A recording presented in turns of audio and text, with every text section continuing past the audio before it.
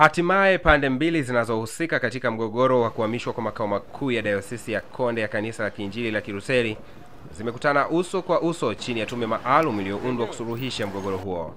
Pande mbili hizo zimepiga kambi kuanzia mida ya saa4 kamili ya asubuhi leo tarehe 23 mwezi wa 9 2021 katika kanisa la usharika wa Beseli Sai jijini Mbeya chini ya tume hiyo iliyoongozwa na Askofu Alex Malasusa.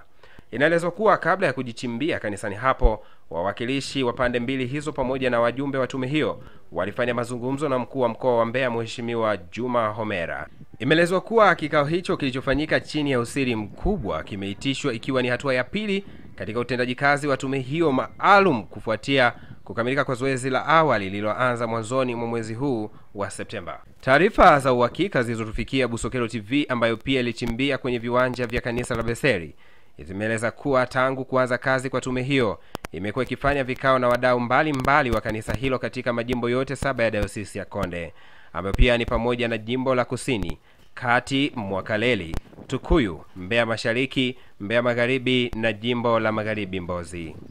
Aidha, katika mchakato huo tume hiyo imeelezwa pia kukutana na halmashauri kuu ya dayosisi ya Konde. Tume maalum ya kusuluhisha mgogoro huo iliyoundwa mwezi uliopita na mkuu wa kanisa la kiruteli Tanzania Askofu Dr. Fredrick Shaw na kuanza kazi mwanzoni mwa mwezi Septemba mwaka huu pamoja na Askofu marasusa na wajumbe wengine wakiwemo Askofu Braston Gavile wa dayosisi ya Ilinga, Askofu Amon Kanyunyu wa dayosisi ya Dodoma, Askofu Renard Mtenji wa dayosisi ya Ulanga kilombelo Askofu Wilson Sanga wa dayosisi ya Kusini Kati, Anzaeli Mwaiteni mwanasheria wa KKT na katibu mkuu wa KKT dayosisi ya Ziwa Victoria ndugu Morel.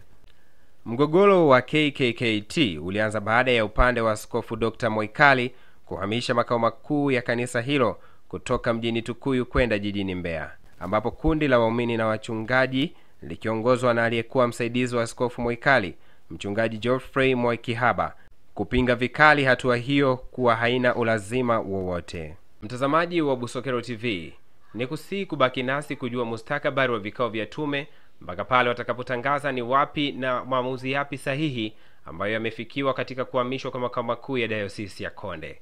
Kwa majina anaitwa Paul kutoka Busokero TV. Ni kusii kubaki nasi kwa matukio mbalimbali mbali ya kihabari, burudani pamoja na michezo, lakini kukumbushe kugusa alama ya subscribe ili kuwa wa kwanza kujitwalia taarifa zetu.